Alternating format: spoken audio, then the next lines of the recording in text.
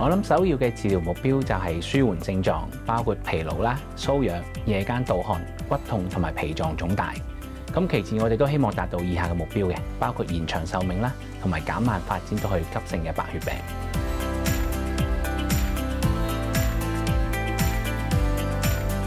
咁而家嘅治療咧，主要分為針對骨髓纖維化病變，以及針對骨髓纖維化引起嘅症狀同埋併發症兩大類。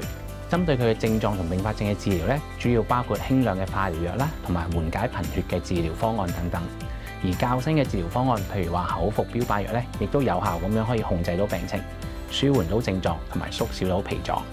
咁醫生會根據你嘅年齡啦、風險分類同埋症狀咧，去建議合適嘅治療方案。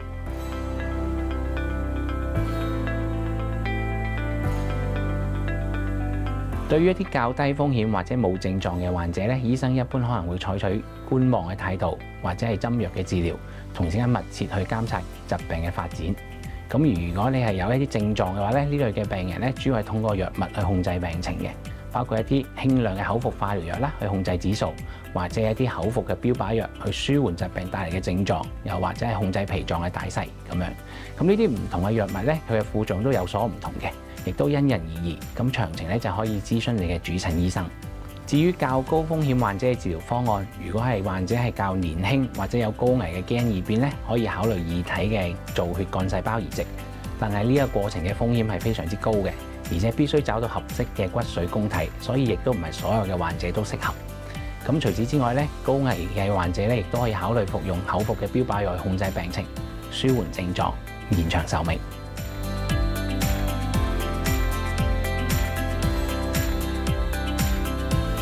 咁病人咧應該按照醫生嘅指示定時食藥，咁千祈唔好自行加減藥物。咁如果出現副作用嘅時候咧，咁病人可以講俾醫生聽，等醫生去作出適當嘅調整。咁患者可以持續咁跟進自己嘅情況啦，特別注意個別相關嘅症狀，包括夜汗、瘙癢、腹部不適等等，並且主動同醫生、護士去溝通呢啲症狀嘅變化。咁病人咧亦都應該要培養咧均衡嘅飲食習慣。特別喺你食藥嘅時候，有好多食物係唔食得嘅，咁記得要問翻你嘅醫生同埋同姑娘去溝通啦。咁你亦都應該建立一個活躍啦同埋健康嘅生活模式，去進行一啲對病情有益嘅運動。咁最後就係應該要保持個人嘅衛生，去減低感染嘅機會。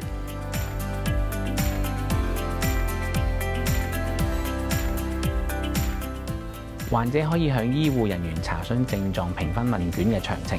亦都可以瀏覽專業可靠健康資訊嘅來源，譬如話 AMWG 網頁及癌症資訊網等等。咁藥物資助計劃咧就可以向社會福利機構查詢，譬如話聖雅各福群會嘅惠澤社區藥房。